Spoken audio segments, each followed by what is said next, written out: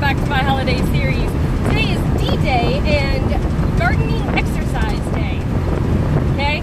Uh, so, for those of you who don't know what D-Day is, which really you should, uh, it is when uh, we as the Allied Nations invaded Normandy uh, and it started the liberation of German occupied countries.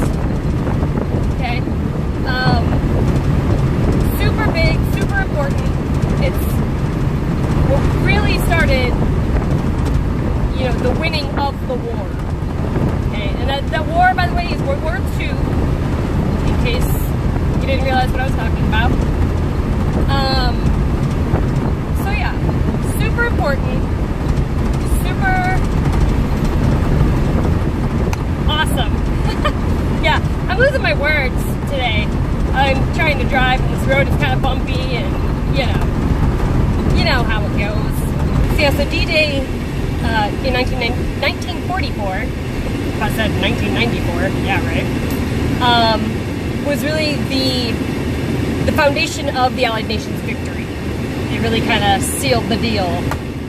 Um, it was also called, uh, by its code name was Operation Neptune which I thought was interesting. Um, I that part I didn't know. Uh, thanks Wikipedia. Um, I kind of like saying that, like Operation Neptune. You know, that sounds cooler to me than D-Day.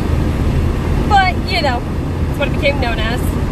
And the second part of the day is Garden Exercise Day, uh, which I actually learned in this little class thingy that we can take for points to go toward like for insurance, whatever the hell. Um, that gardening is considered moderate exercise. That's insane.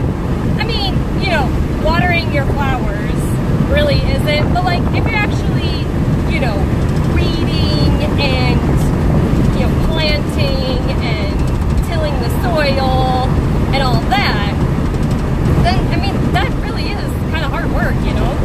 Um, if you think about like the farmers, usually farmers are pretty buff, you know, like old time farmers at least. Nowadays, there's lots of equipment and things that they use to help them, which is good, you know, but yeah, it takes away a little bit of the hard work. Not saying farmers aren't hard workers by any means, um, but gardening um, can be just as hard of work. Um,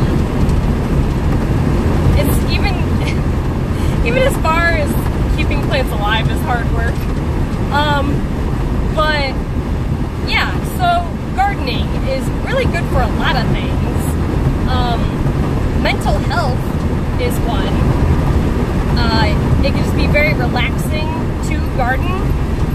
Um, just kind of take a step back and just think about your plants and things like you know leave all your cares behind they don't belong in the garden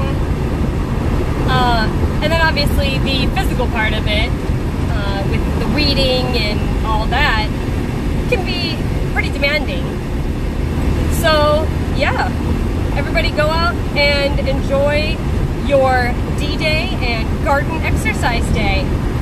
And I will see you all tomorrow. Catch you on the flip side. And then I went and forgot the okay bye part. I'll get this outro thing down sooner or later.